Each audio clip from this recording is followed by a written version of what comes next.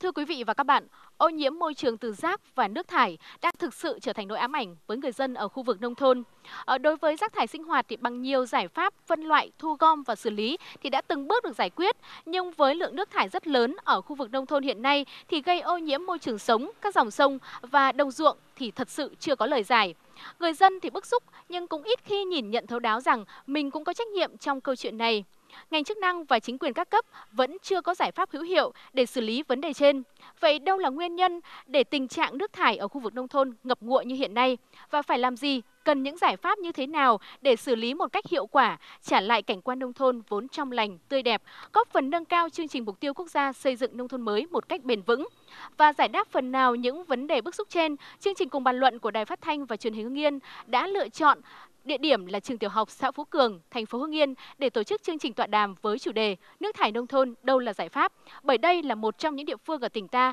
phải chịu nhiều ô nhiễm từ nước thải và chất thải sinh hoạt của người dân trong nhiều năm qua. Và đến với chương trình ngày hôm nay, chúng tôi xin giới thiệu có sự tham gia của các vị khách mời. Xin được giới thiệu Phó Giáo sư Tiến sĩ Vũ Thị Thanh Hương, nguyên Phó Viện trưởng Viện Nước, Tưới Tiêu và Môi trường thuộc Viện Khoa học Thủy lợi Việt Nam và bà là một nhà khoa học mà nhiều năm qua đã tiến hành điều tra khảo sát và quan trắc môi trường nước ngầm, nước mặt trong hệ thống thủy lợi ở tỉnh Hưng Yên. Xin được giới thiệu ông Lê Đức Lành, Chi cục trưởng Chi cục Bảo vệ môi trường tỉnh Hưng Yên. Xin được giới thiệu ông Đào Khánh Toàn, Bí thư Đảng ủy, Chủ tịch Hội đồng nhân dân xã Phú Cường, thành phố Hưng Yên. Và vị khách mời cuối cùng của chương trình xin được giới thiệu ông Vũ Đức Phúc, Chủ tịch Ủy ban Mặt trận Tổ quốc thị trấn Trần Cao, huyện Phú Cừ Và thị trấn Trần Cao, huyện Phú Cừ cũng là một trong nhiều địa phương phải chịu nhiều cảnh ô nhiễm môi trường do nước thải, chất thải sinh hoạt từ nhiều năm qua. Tham dự chương trình ngày hôm nay còn có đồng chí trưởng phòng Tài nguyên môi trường thành phố Hưng Yên, lãnh đạo Hội đồng nhân dân, Ủy ban nhân dân và công chức địa chính môi trường ở nhiều xã phường của thành phố Hưng Yên, cùng đông đảo bà con nhân dân xã Phú Cường, thành phố Hưng Yên. Và chương trình cũng đang được tiếp sóng trực tiếp trên hệ thống loa truyền thanh của thành phố Hưng Yên. Và trước khi bàn vào nội dung chính thì xin mời các vị khách mời cùng quý vị khán giả sẽ theo dõi một phóng sự ngắn của chương trình.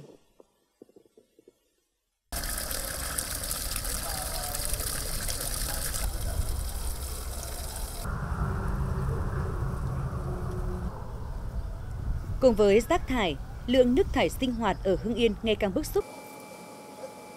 Đến bất kỳ địa phương nào trên địa bàn tỉnh, từ các huyện phía Bắc như Khói Châu, Yên Mỹ, Mỹ Hào, Văn Lâm, Văn Giang, đến các huyện phía Nam như Kim Động, Ân Thi, Phù Cử, Tiên Lữ, ở đâu cũng nhìn thấy hình ảnh nước thải tràn ra đường, mương máng, ao hồ, sông ngòi, với một màu đen kịt bốc mùi hôi thối. Nhưng mà dòng sông này cứ vài hôm lại có một cái lượt nước xả ra cá hai bên bờ chết hết luôn mà dòng sông bốc mùi ôi thối vô cùng ngay như đầm Dại Trạch, xã Dại Trạch huyện Quái Châu gắn liền với truyền thuyết về thiên tình sử chợ Đồng Tử và công chúa Tiên Dung. Điểm đến linh thiêng của du khách thập phương này cũng bị ô nhiễm nghiêm trọng do nước thải. Chủ yếu là là nước thải sinh hoạt của dân của một nửa làng Vĩnh chảy ra một phần nhưng cái cơ bản nhất là vẫn là cái nước thải của của 8 hộ chăn nuôi bò sữa trong làng thì đặc biệt là có 5 hộ trong ờ, rìa bờ rìa bờ đê dọc theo bờ đầm này xuống thì toàn bộ là họ, họ xả thải trực tiếp xuống đầm luôn không có qua xử lý gì hàng chục năm qua toàn bộ hệ thống kênh mương với chiều dài 3 km của xã Phú Cường, thành phố Hưng Yên luôn trong tình trạng đen đặc, mùi xú uế bốc lên khó chịu. Bởi phải hứng chịu chất thải chăn nuôi và nước thải sinh hoạt của trên 1.600 hộ dân. Về mùa thu, mùa xuân thì cái cảm giác là phải vơ được mũi. Tình trạng ô nhiễm môi trường do nước thải, chất thải dân sinh như ở đầm Dại Trạch, huyện Khói Châu hay xã Phú Cường, thành phố Hưng Yên chỉ là những địa phương trong số rất nhiều vùng nông thôn ở Hưng Yên. Phải làm gì để quản lý, xử lý nước thải, chất thải đang gây ô nhiễm môi trường khu vực nông thôn là câu hỏi lớn nhưng lời giải còn nhiều vướng mắc.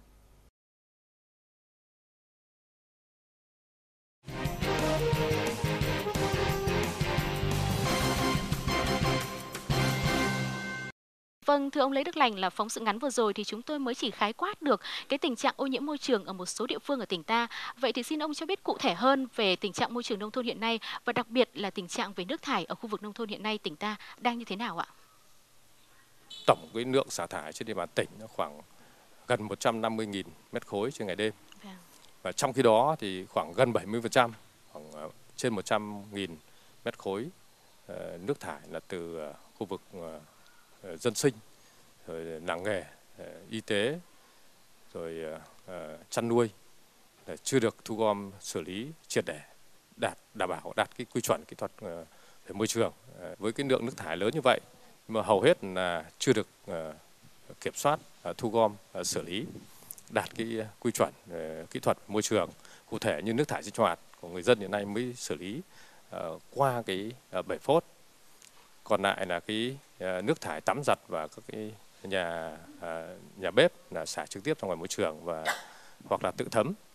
Thế còn ờ, nước thải chăn nuôi thì cũng một phần là được xử lý qua hầm bioga. Thế còn thậm chí là cái lượng lớn nữa là không được xử lý qua hầm bioga mà xả trực tiếp ra ngoài môi trường. Thì uh, cộng vào tất cả cái với cái lưu lượng nước thải ngày càng lớn như vậy và với cái cái uh, thực trạng cái xử lý cái thu gom xử lý cái nước thải uh, các nguồn ở nông thôn này thì đây là nguyên nhân mà hiện nay là gây cái ô nhiễm môi trường ở nông thôn và có thời điểm rất là báo động đặc biệt là vào cái mùa kiệt ờ, qua cái uh, kết quả uh, uh, giám sát cái chất lượng nước uh, mặt trên địa bàn tỉnh thì cho thấy là cái hầu hết các cái mẫu mà sở tài nguyên môi trường uh, lấy mẫu thì đều có các thông số uh, ô nhiễm vượt cái quy chuẩn kỹ thuật quốc gia về uh, môi trường Thưa Phó Giáo sư Tiến sĩ Vũ Thị Thanh Hương là qua quá trình nghiên cứu hệ thống nước ngầm nước mặt và hệ thống thủy lợi ở tỉnh Hưng Yên thì bà cho thấy những cái kết quả như thế nào ạ? Kết quả nghiên cứu gần đây nhất của viện là khảo sát với 112 mẫu nước ao hồ của tỉnh Hưng Yên thì trong đó là có tới khoảng 13% các cái mẫu nước này là ở cái mức độ ô nhiễm nghiêm trọng, tức là ao hồ cũng đen đặc và không còn sinh vật sinh sống cũng như là không còn à, cái có thể sử dụng được cho một mục đích nào. Khoảng à, 25% là ờ, chỉ sử dụng được ờ, so với mục đích giao thông thủy lợi và khoảng 48% thì có thể sử dụng được cho mục đích tưới tiêu và chỉ có khoảng khoảng 18% là có thể sử dụng được cho cấp nước sinh hoạt với cái loại nước thô. Thì đấy là về nước ao hồ. Trong hệ thống thủy lợi thì 100% kênh mương của tỉnh Hưng Yên là nằm trong hệ thống thủy lợi Bắc Hưng Hải. Và chúng tôi cũng đã có khảo sát thì thấy rằng với 36 kênh mương của tỉnh Hưng Yên thì đã có tới 24 con kênh mương là ở mức độ ô nhiễm nghiêm trọng mà tính theo chỉ số WQI. Ở đây nghiêm trọng tức là WQI từ 0 đến 25 và à, từ à, 26 cho đến 50 thì cũng chỉ sử dụng cho mục đích giao thông thủy mà không sử dụng cho mục đích tưới tiêu.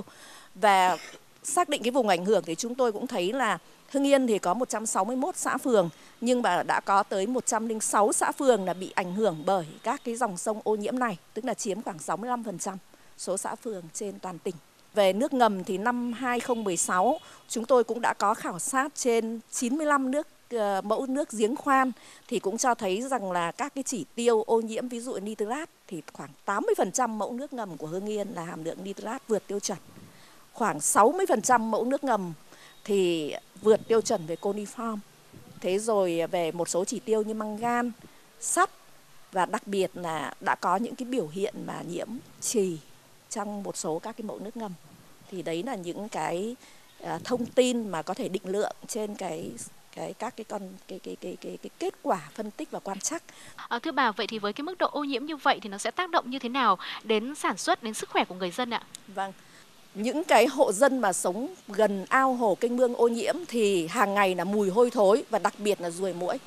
Có những khu vực người dân phản ánh rằng là 6 giờ tối thậm chí phải ăn cơm tối trong màn vì là muỗi rất là nhiều.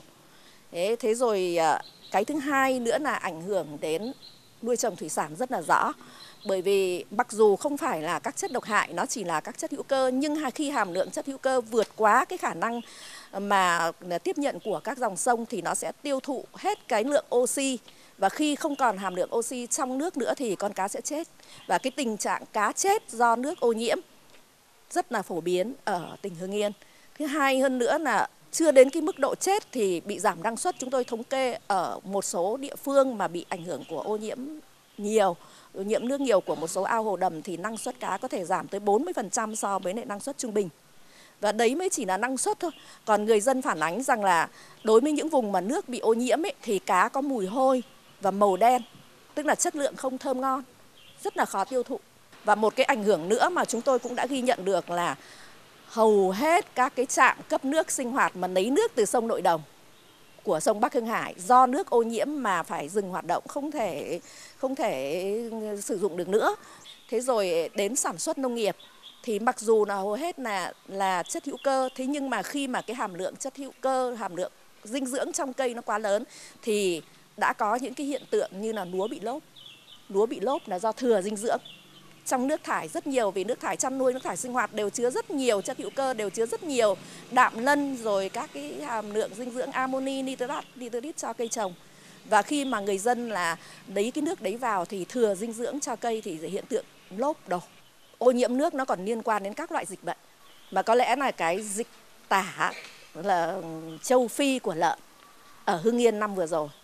và tôi nghĩ cũng có liên quan đến vấn đề ô nhiễm nước bởi vì Hưng Yên cũng là một trong những cái tỉnh mà bùng phát dịch đầu tiên và với quy mô rất là rộng, rất là lớn. Vâng, rất là cảm ơn những thông tin vừa rồi mà bà đã cung cấp. Thực sự là những cái hậu quả rất là nặng nề và một lần nữa thì chúng ta cần phải nhìn lại về vấn đề nước thải nông thôn. À, và thưa quý vị và các bạn và chúng tôi muốn mời uh, các vị khách mời, quý vị khán giả sẽ cùng theo dõi những cái hình ảnh sau đây. À, và chúng tôi xin mời bộ phận kỹ thuật cũng như là quay phim flycam cho chúng tôi xin những cái hình ảnh về hệ thống kênh mương tại xã Phú Cường ở gần với địa điểm mà chúng ta đang tổ chức buổi tọa đàm đây ạ.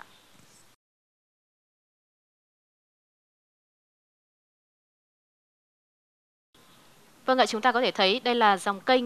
ở ngay bên cạnh ở trường tiểu học mà chúng ta đang tổ chức tọa đàm đây ạ. Cái màu nước đen kịt và rất là đen đặc.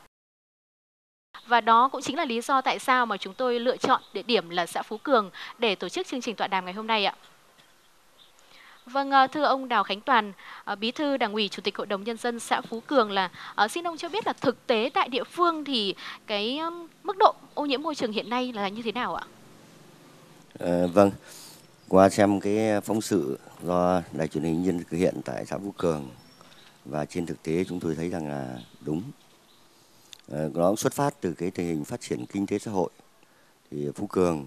cái phát triển chăn nuôi nó rất là nhanh và số lượng thì nó rất là lớn. Ờ, ngoài những cái việc mà uh, tuyên truyền vận động nhân dân có những cái giải pháp để hạn chế thải trực tiếp chất thải chăn nuôi ra môi trường thì ờ, nhân dân cũng rất là ủng hộ.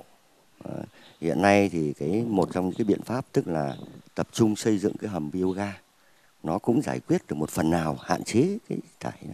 thế nhưng mà cái tốc độ phát triển về số lượng rất là lớn, cho nên là cái hầm bioga nó cũng chỉ giải quyết một phần. Và tất cả là sẽ đổ ra ngoài các cái kênh, các cái mương, cái ao hồ ờ, và nó tích tụ qua từng ngày từng tháng từng năm thì nó tích tụ lại. Ừ, tích tụ lại và nó động lại ừ, trên các cái kênh mương. Nó gây ô nhiễm ừ, cho các cái kênh mương không sử dụng được. Cái nguồn nước để mà phục vụ sản xuất nông nghiệp cũng như là phục vụ cho cái phát triển cái cái cái, cái chăn nuôi thủy sản. Nhưng mà cái cái đáng lo lắng nhất là cái tình hình ô nhiễm như vậy nó cũng ảnh hưởng trực tiếp đến cái sức khỏe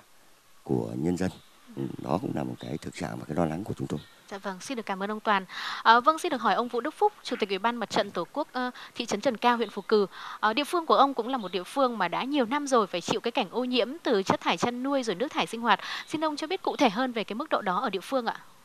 Chúng tôi thống kê khoảng mỗi một ngày là từ 500 đến 600 mét khối nước được đổ ra và theo các cái tuyến máng để đổ ra các cử ngoài nhưng chưa được xử lý từ đó thì dẫn đến ô nhiễm môi trường. Thì thị trấn cũng đã có những cái giải pháp là thả bèo thế nhưng mà cái mức độ ô nhiễm lớn thì cũng chưa giảm được cái mức độ để mà cái ô nhiễm của dòng nước. Thế thì từ cái ô nhiễm đó thì rất ảnh hưởng. Cái thứ nhất là cái nguồn nước đó thì được bơm tưới cho các cây trồng mà nhất là lúa. Thì từ đó thì đất bị ô nhiễm thế và cây trồng bị ô nhiễm ảnh hưởng đến năng suất và có những uh, diện tích là có thể bị chết mà không cho thu hoạch từ những cái đó thì ừ,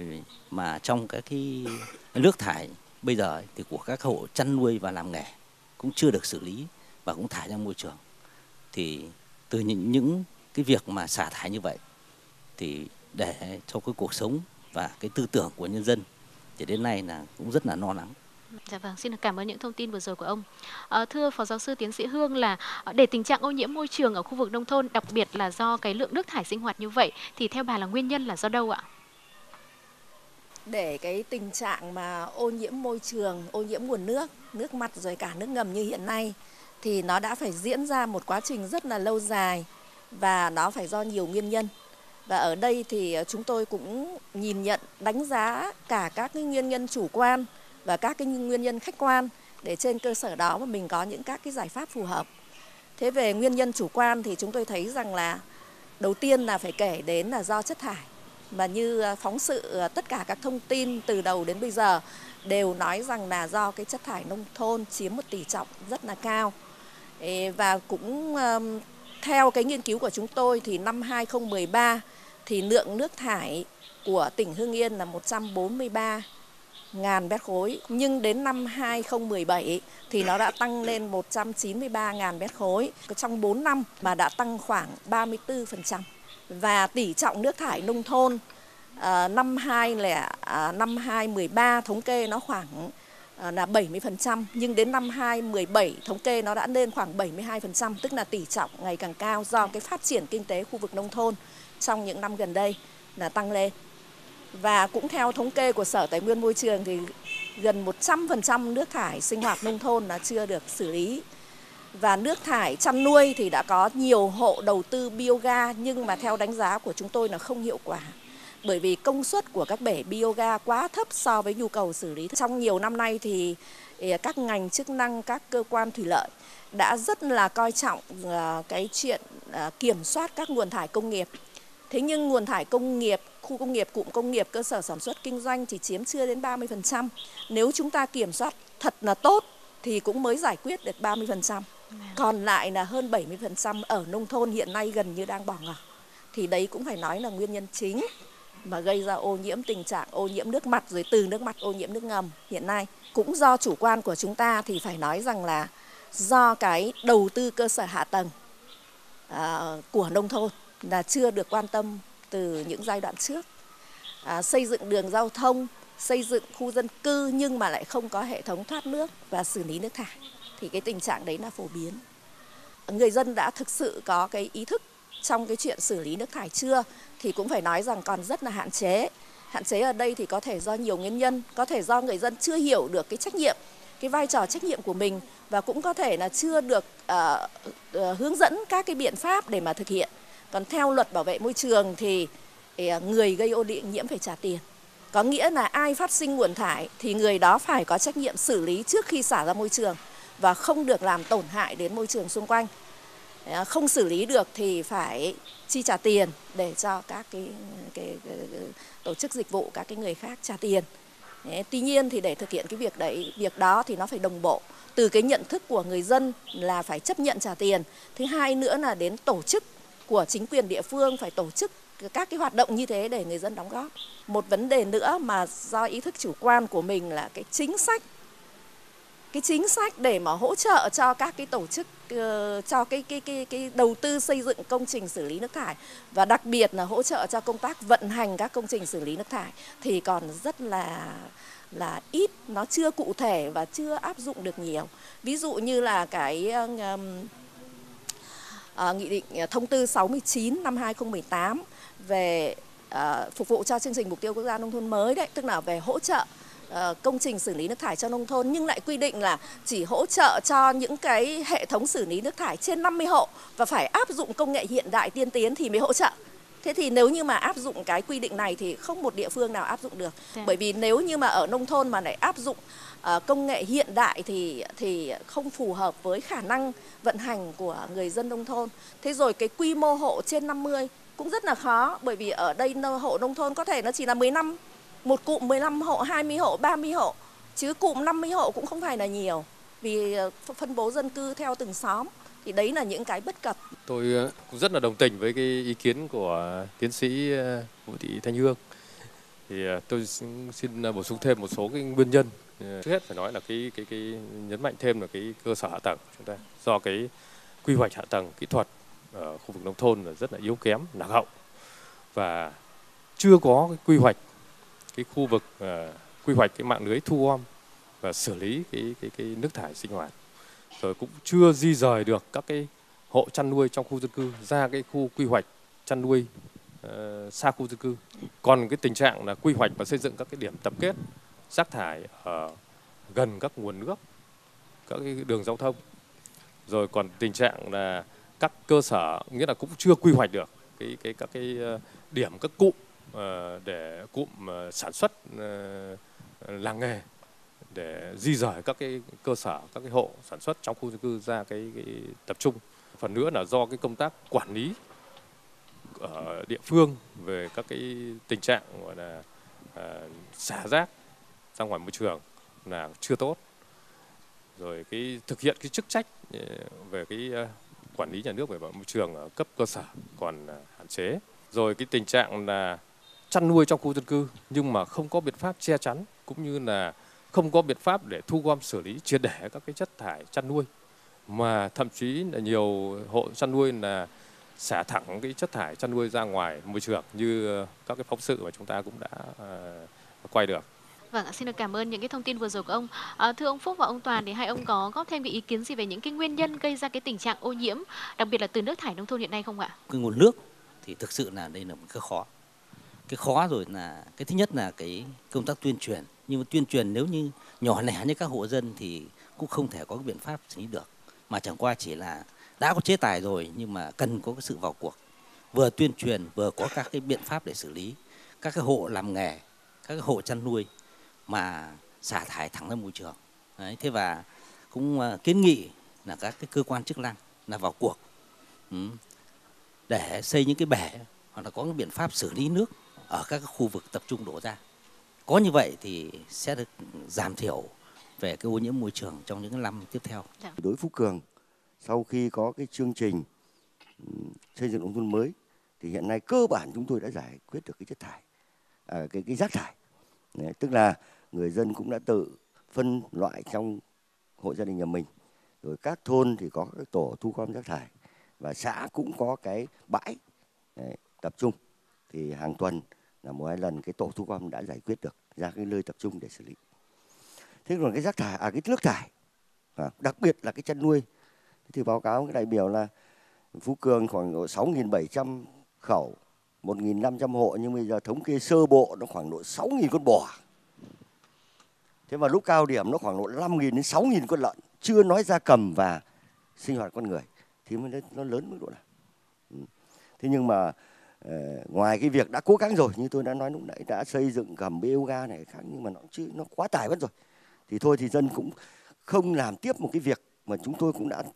thông báo rồi, tuyên truyền rất là nhiều tức là cái chất thải trong chăn nuôi cũng làm như phân loại như rác thải ở trong gia đình thì nó sẽ hạn chế đi Đấy. ví dụ là toàn bộ phân của con bò, con lợn thì tự hộ từng hộ gia đình một, phải hót phân khô, sau đó rồi rửa chỉ xả nước không thôi. Nó sẽ hạn chế rất nhiều. Nhưng việc này thì cũng chưa làm được triệt để. Thì tôi cho nó là cái cái cái nguyên nhân ừ, thứ hai mà cũng là cái nguyên nhân cơ bản là cái ý thức của dân cũng còn có hạn chế này. Dạ vâng. thôi thì ta cứ sạch trong nhà ta. À, thế mà được ra đến ngoài mương thì đối với tập thể thì cái quy hoạch cái đầu tư cho hệ thống này nó chưa có. Nên tôi cho là hai cái nguyên nhân chính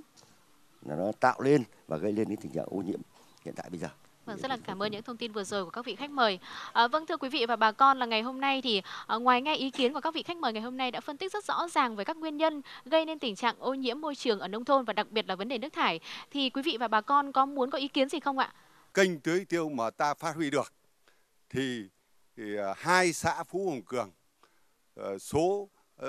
nước thải của dân mà đưa ra mương sẽ giải tỏa được. Bởi vì cái này tôi nhìn thực tế thiên nhiên mà ưu đãi có nhiều trận mưa xuống thì lập tức tức là các ờ, kênh mương ở xã Phú Cường sẽ đẩy ra đề nghị nhà nước và tỉnh sẽ xây dựng một nhà máy ờ, tức là là, là lọc nước ở cuối cuối nguồn của xã Hùng Cường. Với cái ý kiến vừa rồi của bác thì xin mời ông Lê Đức Lành, ông có những cái ý kiến gì không ạ? Cảm ơn ý kiến của bác. Theo quy định ý, thì là đối với các hộ chăn nuôi là phải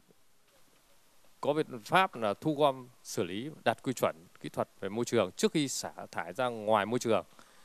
Đấy chứ còn việc mà ý kiến của bác là dồn ra sông nhỏ ra sông lớn ấy, thì đấy là pháp luật nghiêm cấm. Cái việc à, pha loãng chất thải cũng như xả vàng bất kỳ hình thức nào là cũng là pháp luật à, nghiêm cấm. Thế còn à, cái ý kiến của bác là về đề nghị nhà nước là xây dựng cái công trình xử lý nước thải tập trung ờ, quy mô lớn. Thì báo cáo bác là hiện nay thì nhà nước chỉ có thể hỗ trợ trong thời gian tới hiện nay là sở tài nguyên môi trường cũng đã ủy ban tỉnh giao cho là đang xây dựng cái đề án để thu gom xử lý cái nước thải dân sinh nghĩa là chủ yếu là nước thải sinh hoạt của người dân ở khu vực nông thôn và sau này là nhà nước hỗ trợ và ờ, nhân dân uh, hỗ trợ và cùng với nhân dân để thu gom để xử lý cái cái cái đối với cái nước thải sinh hoạt. Nói thật với công các bè là tôi những ngày nắng khi mưa và nắng tôi không dám ra đường. Tôi đóng cửa kín. Đó, thế nhưng mà mỗi buổi sáng tôi có dọn ra mương ấy. Thực ra mà nói tôi nhìn các cái ống của các gia đình, không thể chịu nổi. Đấy, sinh ra hố ghe để làm gì? Nhà tôi, ngày xưa tôi nuôi bốn con bò, khi tôi bắn bò à, mới biết. Đấy, một mình tôi sạch không thể thể được. Thế nhưng đây tất cả cái ý thức của bà con chúng mình, tự mình lại hại mình thôi. Thế còn bây giờ con em mình đây này, đi ra ngoài đường hưởng cái không khí môi trường bản thân tôi này. Thực ra mà nói tôi, ngay bên cạnh cái cây mương nhà tôi, đi vào cái đường đi tôi không thể chịu nổi. Một mình tôi sạch không thể được. Tôi cũng đề nghị ở xã là phải có cái biện pháp về thôn để họp dân lại. Tất cả mọi người dân chúng mình phải có ý thức. Nếu như bà con nông dân, chúng ta không thực hiện tốt vấn đề xử lý rác thải, xử lý nguồn nước tại gia đình của mình, thì ảnh hưởng trực tiếp đến đời sống của bà con nông dân cũng như là ảnh hưởng trực tiếp đến thế hệ trẻ những em học sinh đến trường thấy nước thải khu vực xung quanh rất là ô nhiễm ô nhiễm nghiêm trọng và mùi thì rất là nồng nặc và nước thì đen nó còn rất nhiều muỗi sẽ có giải pháp nhanh để được uh, được sông được cải thiện cuộc sống người dân hơn. Ừ. Chúng ta cũng đã một lần nữa nhìn nhận thẳng thắn rằng là người dân cũng có một phần trách nhiệm rất là lớn trong vấn đề xử lý nước thải nông thôn này và với những cái ý kiến và những cái kiến nghị vừa rồi của hội nông dân thì uh, xin mời ông ờ, Toàn ông có thể đưa ra những cái lời giải đáp giúp cho bà con ạ. Vâng, với ờ, cái ý kiến thay mặt cho nhân dân cũng như là chúng ta đã nhìn thấy qua hình ảnh thế rồi là cái thực trạng xã Vũ Cường thì chúng ta thấy rằng là nó một điều chúng ta đáng đáng băn khoăn đáng suy nghĩ. À, nghĩ. Để làm sao có những cái giải pháp giải quyết vấn đề này. Đáp ứng cái nguyện vọng của nhân dân được hưởng những cái môi trường trong lành. Không? thế thì à, theo tôi thì nó có rất nhiều cái giải pháp. Thì tôi cho là vẫn phải đối với chính quyền à, đảng chính quyền các ngành đoàn thể à, tập trung công tác tuyên truyền vận động để nâng cao cái ý thức của người dân. Trước mắt vậy thì đã bởi vì toàn bộ cái nước thải chất thải là đều trong các hộ gia đình thải ra. Tôi cho là cái giải pháp trước mắt đồng thời nó cũng là một cái giải pháp lâu dài. Có một cái quy hoạch mỗi một thôn hoặc là cụm thôn thì toàn bộ cái đầu mối thu gom ấy ra một địa điểm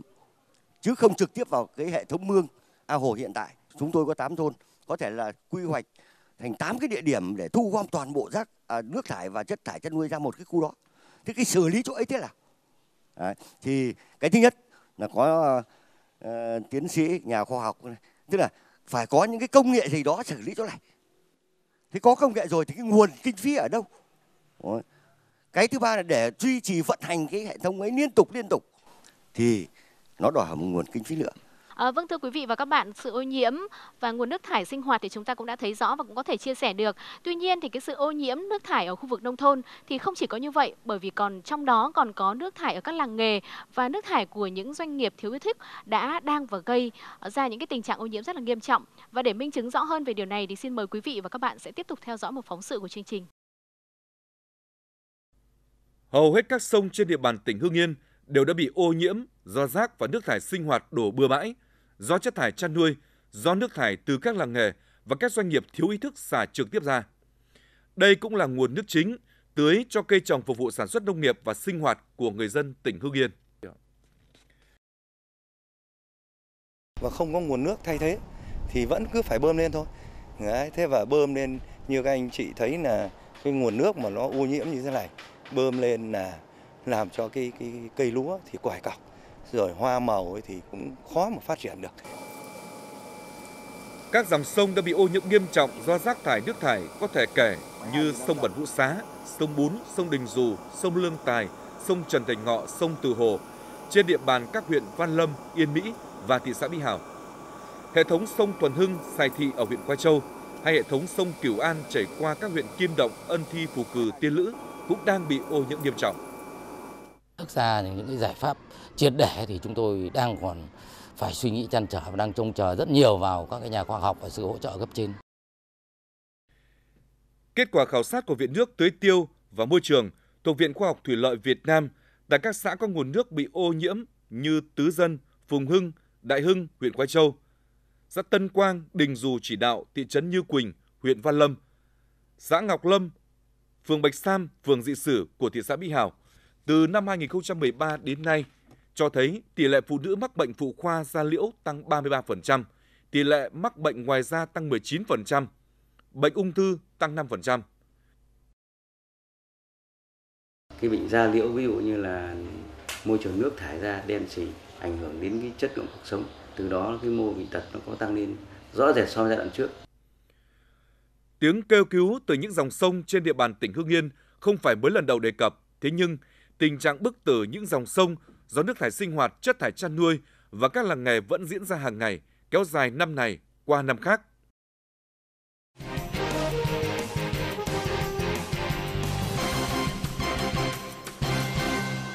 À, vâng thưa quý vị và các bạn, qua phóng sự vừa rồi thì chúng ta đã thấy rằng à, rác thải và nước thải đang thực sự bức tử những cái dòng sông ở tỉnh Hưng Yên và hậu quả là mang đến những cái sự ô nhiễm đến nguồn đất, nước và nhất là với sức khỏe của người dân, ờ, làm phát sinh ra nhiều làng ung thư và cũng nhiều người chết vì bệnh nan y. Ờ, xin được hỏi phó giáo sư tiến sĩ Vũ Thị Thanh Hương là để giải quyết được cái tình trạng này thì nó có cái sự tốn kém về thời gian, công sức và tiền của như thế nào ạ? Vâng, trước hết là tốn kém về tiền bạc thì ờ, tôi nêu một cái ví dụ như thế này tức là năm 2018 Viện nước tưới tiêu và môi trường cũng đã phối hợp với Sở Tài nguyên Môi trường làm thí điểm một số cái mô hình xử lý nước thải cho khu dân cư. Và từ kết quả mô hình đấy thì khái toán ra cái kinh phí là với một hộ gia đình 4 đến 5 người thì để xử lý nước thải bằng công nghệ sinh học thôi tức là công nghệ sinh học ừ, không chưa phải là chi phí năng lượng tức là chi phí thấp thôi đấy chưa phải đờ, đờ, công nghệ hiện đại đâu thì đã tốn khoảng từ 15 đến 20 triệu đồng một hộ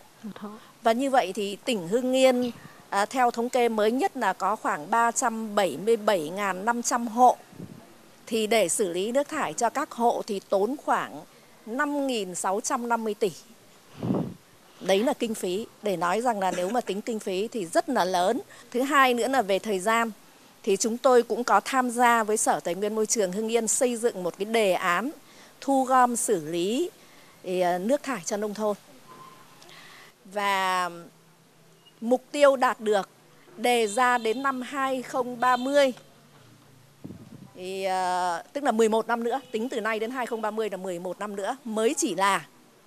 15% nước thải sinh hoạt nông thôn được, được sinh hoạt được thu gom xử lý. 60% nước thải chăn nuôi được thu gom xử lý đạt yêu cầu đấy và 50% nước thải làng nghề. Và để giải quyết vấn đề này nếu như không có biện pháp à, tích cực, biện pháp cấp bách và đồng thời nhiều biện pháp thì để giải quyết nước thải sinh hoạt cho nông thôn thì ở Hưng Yên chắc là không dưới vài chục năm. Thì đấy là một vấn đề mà các nhà à, quản lý, các nhà khoa học cũng như là chính quyền tỉnh cần phải có những cái giải pháp tích cực và cái à, suy nghĩ. Thì, à, vâng. Vâng, xin được cảm ơn những thông vâng. tin vừa rồi của bà. Vâng. À, vâng, à, thưa ông Lê Đức Lành là trước cái thực trạng môi trường nông thôn bị nước thải sinh hoạt gây ô nhiễm như hiện nay và người dân thì cũng đã nhiều lần kiến nghị với các cấp chính quyền rồi phản ánh liên tục với hội đồng nhân dân các cấp và các vị đại biểu quốc hội à, và những cái vấn đề này vô cùng nóng. Vậy thì trước những cái thực tế như vậy thì ngành tài nguyên và môi trường tỉnh Hưng Yên đã có những cái tham mưu và những cái động thái gì để xử lý vấn đề nước thải và chất thải nông thôn ạ? Quy định cái trách nhiệm của cơ quan liên quan thì uh ngành tài nguyên môi trường cũng đã tham mưu ban tỉnh ờ, năm 2018 đã ban hành cái quy định ờ, số 28 quy định về công tác bảo vệ môi trường trên địa bàn tỉnh. Trong đó thì cũng đã à, quy định rất rõ cái trách nhiệm của các cấp các của các sở ban ngành và các cấp trong tỉnh trong việc cái xử lý nước thải rồi chất thải ở nông thôn. Năm 2019 thì cũng đã sở cũng đã tham mưu ban tỉnh ban hành cái quy chuẩn địa phương về cái nước thải sinh hoạt và nước thải công nghiệp. Trước cái thực trạng như vậy thì cũng đã à, triển khai phối hợp với các cái ờ, viện nghiên cứu đã triển khai các cái mô hình về thu gom và cái xử lý cái nước thải ờ, sinh hoạt ở nông thôn và cụ thể là cũng đã xây dựng ở chính nghĩa hai cái mô hình quy mô hình uh, hộ và quy mô cụm hộ rồi đồng thời cũng phối hợp với JICA Nhật Bản để tiếp ờ, cận cái công nghệ Jocaso để xử lý đối với nước thải sinh hoạt của quy mô hộ, cụm hộ, gia đình và ờ, trường học trên địa bàn tỉnh. À, vâng ạ, vấn đề nước thải nông thôn thì rất là nóng và bức xúc và chúng ta sẽ cùng xem là ngành chức năng và các cấp địa phương đã có những cái giải pháp như thế nào qua phóng sự sau đây. Đây là công trình xử lý nước thải sinh hoạt bằng công nghệ xử lý nước thải Jokaso của Nhật Bản, được tổ chức JICA Nhật Bản tại Việt Nam tài trợ 100% kinh phí tại trường mầm non xã Đình Dù, huyện Văn Lâm. Công trình được vận hành từ những tháng đầu năm 2019.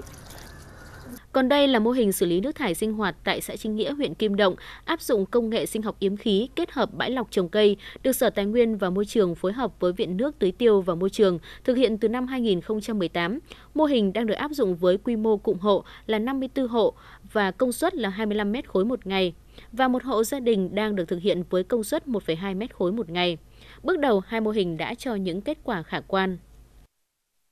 Trước kia thì uh, chưa được uh, có cái công trình xô ca xô này thì uh, hệ thống nước thải của nhà trường thì cũng chảy theo cái uh, đường cống rãnh đi ra ngoài thế vì vậy là cái uh, uh, khu vực gần bếp và cái khu vực uh, cống rãnh là nó hay có mùi. Thế từ khi mà có công trình uh, đưa vào hoạt động đấy thì cái uh, hệ thống này ở cống rãnh cũng như là nhà bếp đấy thì không có mùi nữa và rất là đảm bảo cái môi trường. Tính đến thời điểm này, đây là hai mô hình bước đầu cho hiệu quả, nhưng con số một trường mầm non và hơn 50 hộ gia đình vẫn còn quá ít ỏi so với gần một triệu dân ở khu vực nông thôn Hưng Yên. Còn lại những công trình xử lý nước thải khác thì vận hành không thường xuyên và chưa đạt hiệu quả do thiếu cơ chế quản lý và kinh phí vận hành công trình. Đó là các công trình thoát nước và xử lý nước thải khu dân cư tại xã Toàn Thắng, huyện Kim Động, thị trấn Yên Mỹ, huyện Yên Mỹ, thị trấn Ân Thi, huyện Ân Thi. Đây là những công trình được hỗ trợ theo chương trình nước sạch và vệ sinh môi trường của Phần Lan. Công tác ờ, quản lý, vận hành thì quả thành của nói thì với ủy ban xã thì cái không có chuyên môn, cho nên là cũng rất là khó khăn trong công tác vận hành, cũng như là sửa chữa những hỏng hóc nhỏ. Mỗi một lần hỏng hóc, chúng tôi đều phải đi tìm đơn vị để thuê, và cái này nó lại chậm thời gian. Tôi đề nghị là ờ, để cho một đơn vị ờ, có chuyên môn người ta quản lý và vận hành thì nó sẽ ừ, hiệu quả hơn rất nhiều. Ước lượng nước thải sinh hoạt nông thôn phát sinh khoảng 80.000 mét khối một ngày. Với số lượng các công trình xử lý mới chỉ đếm trên đầu ngón tay và thực trạng như vậy thì việc xử lý nước thải sinh hoạt ở nông thôn Hưng Yên hiện nay mới chỉ như muối bỏ bể.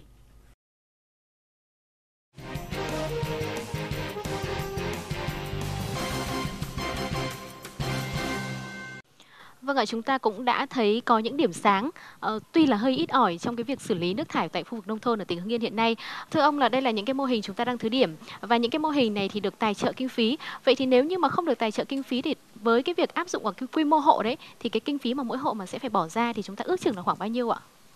Đối với cái quy mô hộ nó khoảng uh, ngót 20 triệu. Ngót 20. Một uh, cái mô hình uh, đối với cái hộ mà khoảng 4 đến 5 uh, 5 người. Còn đối với cái quy mô hộ chính nghĩa 54 hộ khoảng uh, hơn 200 người thì cái kinh phí nó khoảng hơn 300 triệu. Dạ. Vâng. Vâng ạ, xin được hỏi quý vị và bà con là như cái thông tin mà chúng ta vừa được lắng nghe ở đây ạ. Tức là nếu như mà sau này các bác uh, sẽ cùng với hợp tác với cả nhà nước để cùng xử lý cái vấn đề nước thải đó thì mỗi một cái hộ gia đình của chúng ta khoảng 4 đến 5 nhân khẩu thì chúng ta sẽ phải đầu tư một cái công trình đó khoảng tầm gần 20 triệu để có thể xử lý được nước thải mà làm cho môi trường của chúng ta trong lành như vậy. Thì xin được hỏi là quý vị và bà con chúng ta có sẵn sàng không ạ? Ờ, qua ý kiến ờ, của các đồng chí đại diện cho lãnh đạo quản lý môi trường thì tôi thấy là như thế này. Thực ra mà nói là nếu nói 20 triệu đối với hộ nông dân ở khối nông thôn rất là lớn, có nhiều hộ không hoàn thành được bởi vì cái mức độ thu hoạch thực ra mà nói rất thấp. Thế là riêng của tôi là tôi đề nghị ngay từ ban đầu ấy, là lên khôi phục lại cái công trình tưới tiêu. Tức là xây dựng lâu rồi mà để là lãng phí, nó liên quan đến hai xã. Thì hệ thống này hoạt động tôi tin rằng uh, các máy nhỏ hút ở kênh tức là uh, thải ra đưa lên mà nếu tư duy nữa thì nước này sẽ đưa vào chương trình tưới cây và tưới nông nghiệp dạ vâng. thì lúc bấy giờ thu tiền của dân nó sẽ dễ hơn Cảm ơn ý kiến vừa rồi của bác. À, và đứng từ phía góc nhìn của các nhà khoa học thì uh, tiến sĩ Hương nghĩ sao về cái ý kiến này ạ? À, hiện nay đối với công trình thủy lợi chỉ được thiết kế để phục vụ tưới tiêu chứ không được thiết kế để tiêu thoát và xử lý nước thải. Nhưng do cái quá trình phát triển đô thị rồi cái chúng ta chưa làm được thì hiện nay tất cả nước thải đều xả ra công trình thủy lợi kênh mương dẫn đến tình trạng ô nhiễm kênh mương mà như tôi đã nói ở trên và uh, các phóng sự cũng đã ghi lại các hình ảnh kênh mương mà nước đen ngòm và và dòng sông chết. Bởi vậy thì chúng ta không thể tiếp tục xả nước thải ra kênh mương được nữa và càng không thể chuyển nước thải của nhà mình đi sang à, khu vực khác, địa phương khác được. Thì đấy là một cái điều là chắc chắn là khẳng định là như vậy. Và trong luật thủy lợi được ban hành năm 2017 và có hiệu lực từ 2018 đã quy định rõ là phải bảo vệ chất lượng nước trong công trình thủy lợi và tất cả các nguồn thải bất kể một nguồn thải nào từ dân sinh cho đến công nghiệp cho đến làng nghề đều phải được xử lý đạt tiêu chuẩn rồi mới được xả vào kênh mương thủy lợi. Cho nên là cái đề xuất của các bác thì nó chưa được phù hợp. Đấy, và chắc chắn là sẽ không thể thực hiện cái giải pháp đấy được. Nó chưa không phù hợp với điều kiện hiện tại của chúng ta không phù hợp với luật cũng như là tất cả các cái vấn đề khác. Cho nên một trong những cái giải pháp tốt nhất là các cái nguồn thải của các hộ gia đình, của các hộ chăn nuôi nước thải sinh hoạt phải được xử lý phải được xử lý rồi mới được xả ra kênh mương. Vâng. Thưa tiến sĩ Vũ Thị Thanh Hương là một số cái mô hình thí điểm và những cái công trình xử lý thì chúng ta đã thấy là cái hiệu quả chưa cao. Vậy thì theo tiến sĩ là cái tình trạng này à, nguyên nhân là do đâu ạ? À, liệu có phải là do cách vận hành chưa đúng hướng, chưa bài bản hay là vẫn còn mang cái tính hình thức? Đây là một nghịch lý trong khi chúng ta đang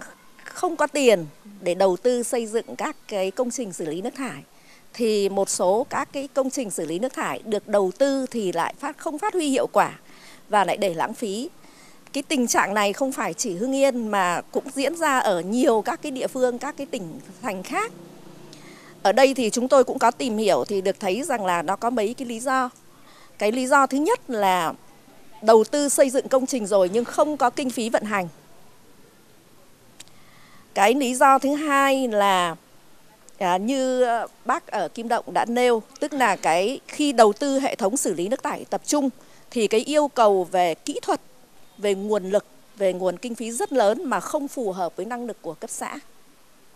Đấy, thế rồi là vấn đề nhận thức của người dân trong cái việc tham gia vận hành. Dạ. Ngoài ra còn một số các cái nguyên nhân khác nữa, ví dụ như là chúng ta cũng có những cái trường hợp mà công nghệ không phù hợp, công nghệ nó hiện đại quá, Đấy, nó tiêu tốn năng lượng, nó không phù hợp với khả năng vận hành của cái người dân địa phương. Ờ, của của cái cái cái cái người dân nông thôn và một trong những cái mà nguyên nhân quan trọng nữa là khi chúng ta xây dựng uh, công trình xử lý nhưng chúng ta không có cái phương án quản lý vận hành đấy, thế thì dẫn đến là bàn giao cho địa phương thì người ta, thứ nhất là khả năng người ta không vận hành được, tiền không có để vận hành, thì nó sẽ dẫn đến cái chuyện là ờ, đắp chiếu để đấy và gây lãng phí cái nguồn vốn đầu tư. Và đấy cũng là bài học cho Hưng Yên trong cái việc xây dựng đề án này. Và chúng tôi cũng đã tham gia là bên cạnh việc đầu tư công trình, công nghệ thì phải, vấn đề đầu tiên là phải xét đến là cái cơ chế để quản lý các cái mô phải xây dựng ờ, các cái mô hình quản lý bên cạnh mô hình công nghệ phải có các mô hình quản lý để rút ra những bài học kinh nghiệm là để quản lý nó cần nguồn lực như thế nào, cần chi phí như thế nào, cách tổ chức ra làm sao và đặc biệt là trách nhiệm. Ai là người quản lý vận hành? ai là người quản lý vận hành thì đấy là những cái bài học mà uh, từ cũng từ Hưng Yên và từ các địa phương khác thì để cho tỉnh Hưng Yên triển khai cái đề án xử lý nước thải và có nhiều cái rút kinh nghiệm để có những cái hiệu quả tích cực nhất. Vâng ạ, chúng ta đã bàn rất là nhiều đến vấn đề về hiện trạng, về những cái nguyên nhân à, và bây giờ thì cái giải pháp nào để mà xử lý tình trạng nước thải nông thôn hiện nay? Vâng, xin mời tiến sĩ Vũ Thị Thanh Hương ạ. Về giải pháp thì theo tôi nghĩ rằng là chúng ta tập trung vào những cái uh, nguyên nhân mà chúng ta đã nêu ra. Đấy, cái trước hết thì uh, tôi nghĩ là về giải pháp công nghệ. Thì cho đến nay có thể khẳng định rằng là về phía cơ quan chuyên môn, cơ quan khoa học hoàn toàn có thể đề xuất ra các cái công nghệ đáp ứng được các cái yêu cầu xử lý nước thải cho sinh hoạt cho nông thôn với các cái chi phí thấp mà nó phù hợp với cái điều kiện trình độ quản lý của người dân nông thôn. Còn về phía à, nhà nước, về phía chính phủ thì tôi nghĩ rằng là phải có cái cơ chế, phải có ban hành các cái chính sách hỗ trợ từ đầu tư À, ở đây tôi nói là hỗ trợ chứ không phải là đầu tư chứ không phải là nhà nước lo toàn bộ. Hỗ trợ trong đầu tư xây dựng các công trình thủy ờ, trong các công trình xử lý nước thải. Nhưng đặc biệt là phải có cả cơ chế hỗ trợ cho công tác vận hành các công trình này nữa. Bởi vì ờ, theo như các cái hệ thống xử lý nước thải mà xây dựng ở đô thị nước thải sinh hoạt ví dụ như Hà Nội thì người ta tính là chi phí là vận hành là 6.000 đồng trên một mét khối một ngày. Thì ai sẽ là người chi trả cái này? Thu từ người dân cũng không thể đảm bảo đủ được mà phải có cái chính sách hỗ trợ trong cái vận hành này và cơ chế như thế nào thì cũng cần phải có cái nghiên cứu ờ, cơ quan chuyên môn nghiên cứu để để để để để, để đề xuất. Thứ hai nữa là công tác quản lý vận hành phải nâng cao năng lực quản lý vận hành các hệ thống xử lý này cho chính quyền địa phương và người dân. Mặc dù cái vấn đề này tôi nói thứ ba nhưng mà tôi đánh giá nó lại quan trọng số 1 bởi vì à, như, như tôi cũng đã nói là nguồn thải phát sinh từ người dân. Rồi người dân lại trực tiếp ảnh hưởng. Và với trên 60 triệu dân của vùng nông thôn thì nhà nước không thể đi lo hết được cho từng cho tất cả khu vực nông thôn. Mà bản tự bản thân người dân với sự hỗ trợ của chính quyền địa phương rồi các cơ quan chuyên môn phải tự thực hiện và nhà nước chỉ hỗ trợ.